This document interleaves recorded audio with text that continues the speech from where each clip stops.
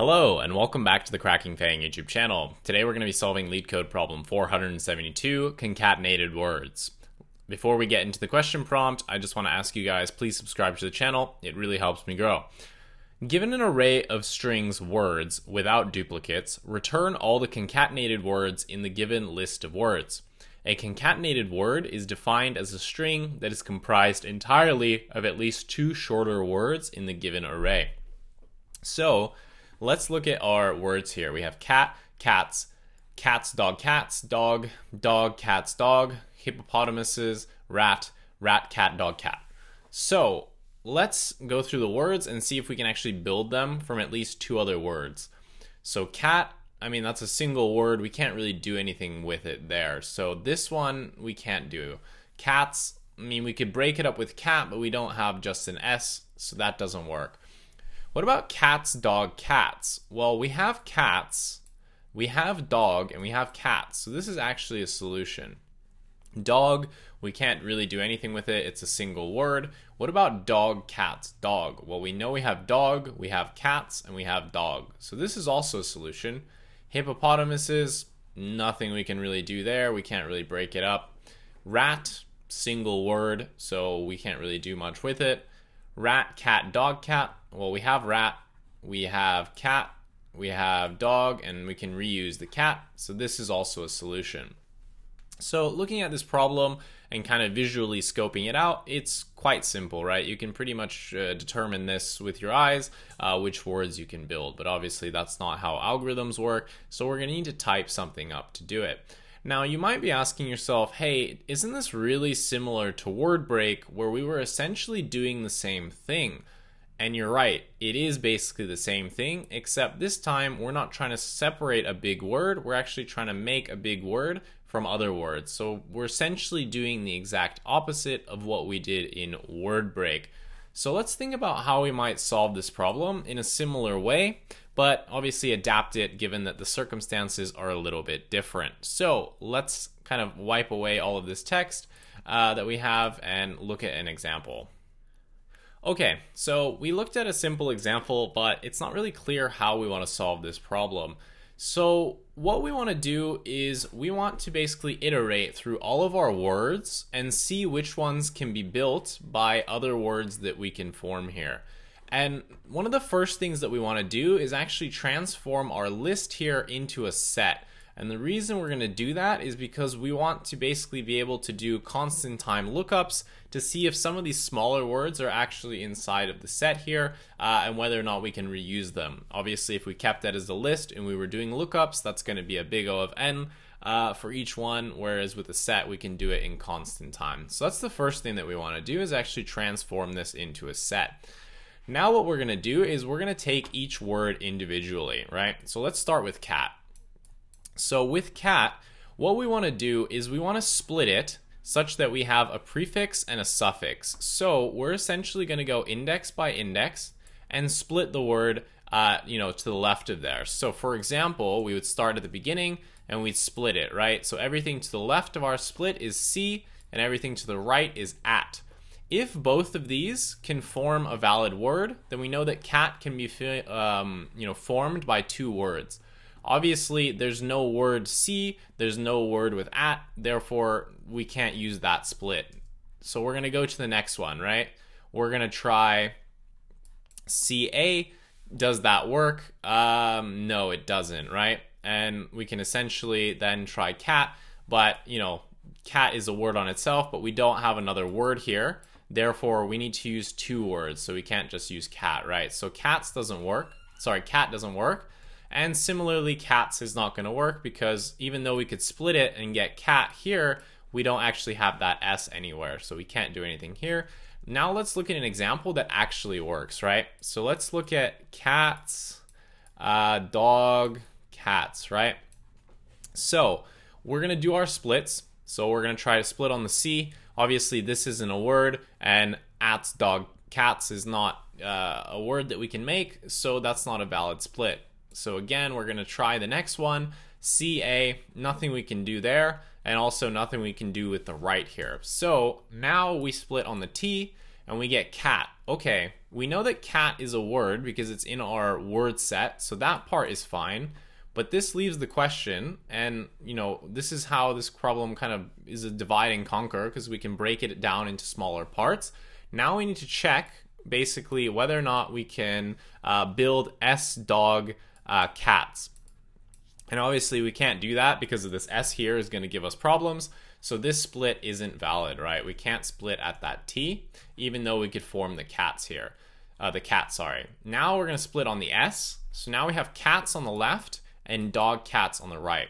Again, we know that cats is fine because it's in our word set, so that part is okay. Now we need to determine whether or not this right side can actually be made up, right? So we're gonna do dog cats here, and we're gonna do the exact same thing. So we're gonna try to split on the D, nothing we can do there. Split on the O, nothing we can do there. Split on the G, so now the left is dog and the right is cats. So dog is a word in our word list and cats is a word in our word list. Therefore, this one can be formed. And since we are able to form the left here with cats, and dog cats can be broken into dog and cats, this is also fine. Therefore, cats, uh, dog cats is one of our solutions. And essentially, we would do the rest of these words. And again, we would determine that this is an answer and this is an answer in the similar way. And notice that uh, we have some repetition here, right? Cats comes up multiple times. So what we can actually do is we can use a memo dict here to actually store whether or not a word uh, actually works. So what we want to do is basically just the opposite of word break. We're going to, instead of trying to break up the word, we're going to be trying to build it up. And, you know, we're just going to use depth first search with some memoization to do that. Pretty straightforward. Basically the exact same code that we used for word break, except basically flipped. So enough blabbing. Let's go to the code editor and actually type this up. It's really simple. You'll see it's just a few lines of code. So I'll see you in the editor. Let's test.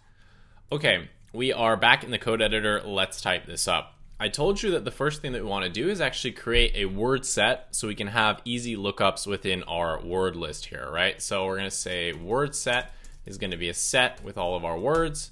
And we also want to use a memoization dictionary here to help store results that we've already seen before so we don't have to recompute uh, them because there will be some duplicates here. So we're going to say memo and it's just going to be an empty dictionary. Now what we want to do is actually define our depth first search function uh, where we'll be doing all the work. So we're going to say def DFS and we're going to pass in a word and what we're going to do here is now we need to iterate index by index as we saw. So we're going to say for i in range from 1 to the length of the word.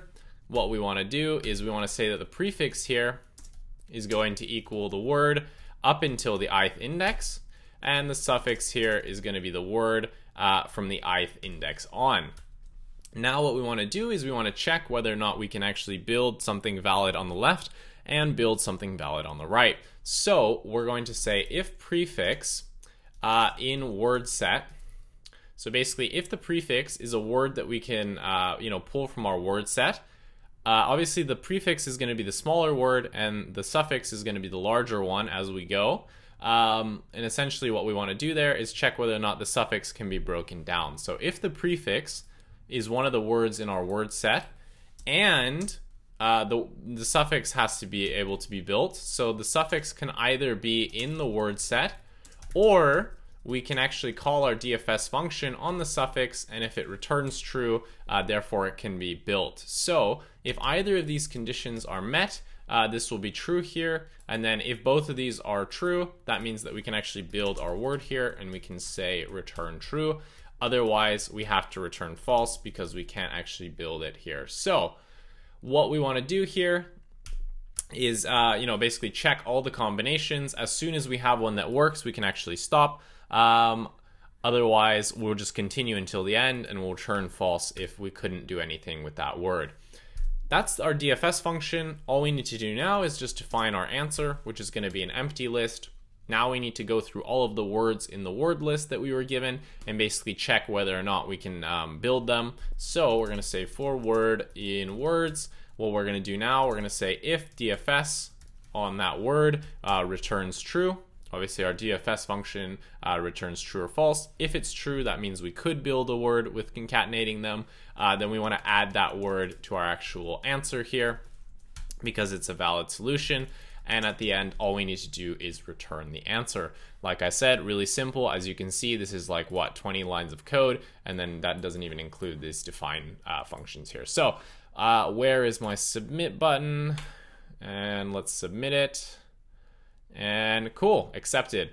So, whoops, how do I get this? Uh, all right, so what is the time and space complexity here? So let's think about this. Obviously, the word set is going to take uh, big O of n time to make, but that part isn't really within the loop, so we can kind of ignore it because the time complexity is mostly going to come from here. So obviously, we are iterating over all of the words in our word set, so that's going to be big O of n, where n is the you know number of words, right? Now what we're going to do is uh, we need to uh, iterate over each of the words. So in the worst case, they're all the same length. So, you know, this is going to be big O of n. Um, so obviously we have to iterate over the, the word. So it's going to have, you know, n characters in it. And, you know, this, slicing it here is going to take uh, big O of n time. So that means that the entirety of our DFS function is going to take uh, big O of n squared, right? Because checking the prefix is going to cost, uh, you know, constant time because we made it into a set. Same thing here with the suffix. And then going into the DFS, that's a separate function in and of itself. So what we can say here is that the this DFS function is going to be um, big O of n squared. So that means that we have a big O of n squared function inside of big O of n function. Therefore, our total time complexity here is going to be big O of n cubed, uh, which is the exact same thing as word break. If you remember, um, this problem is basically just word break in reverse. So space complexity, it's going to be the same as uh, word break. It's going to be big O of n because of the word set here and our memo dictionary, uh, where we're actually basically storing uh, all of the intermediate words. So that is going to be your time and space complexity for this problem. Hopefully you enjoyed the video. If you did, please leave a like and a comment. It really helps me out with the YouTube algorithm. If you want to see more content like this, consider subscribing to the channel. Otherwise, thank you so much for watching and have a great rest of your day.